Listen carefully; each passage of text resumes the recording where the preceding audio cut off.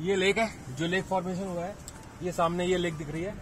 दिखा दो कुछ। जो सामने की विड्थ है, लगभग 50 मीटर नज़र आ रही है। सामने की विड्थ, ये वाली विड्थ 50 मीटर। और अभी हमें करीब 200 मीटर तक दिख रहा है, लेकिन उसके आगे टर्न है राइट को टर्न है तो वो चीज़ यहाँ से नहीं दिख पा रही लोकेशन से। और ये देखिए, उस किनारे से डिस्चार्ज हो रहा है, ये बीच में से, ये डिस्चार्ज हो रहा है और डिस्चार्ज ठीक ठाक डिस्चार्ज हो रहा है। पानी मड़ी नहीं है, पानी बिल्कुल साफ़ है ब्लू है लेक और पानी बिल्कुल व्हाइट आ रहा है। ये जो डिब्रीज लेक के सामने है, ये जो डिब्रीज है, ये कम से कम पाँच सौ सात सौ मीटर तक डिब्रीज है। और इसमें आइस का पार्ट आइस के पार्ट्स भी हैं और ये जैसे पानी जमा हुआ जमा हुआ है, देखिए पानी। तो इसमें बोल्डर्स हैं